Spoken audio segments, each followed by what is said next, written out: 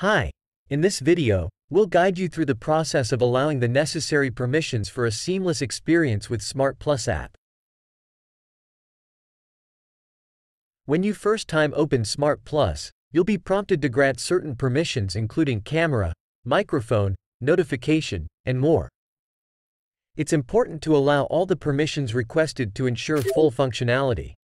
On Android phones, the permission screen has a slight difference and the display floating window must be enabled before you can proceed to the next step. In case you didn't grant all the necessary permissions during the initial setup, don't worry. You can still manually enable them on your phone's system settings. Here are some specific permissions you may need to enable for certain features. Here using iPhone as an example. Go to Settings and tap on SmartPlus from the list of installed app to manage its permissions. Toggle on the permissions you wish to enable, such as camera, microphone, Bluetooth, and notifications.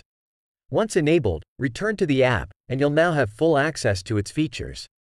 However, Bluetooth feature is an exception. After granting the Bluetooth permission, you will be prompted to enable Bluetooth function on your phone before you can select your preferences and use it for door opening. Thanks for watching.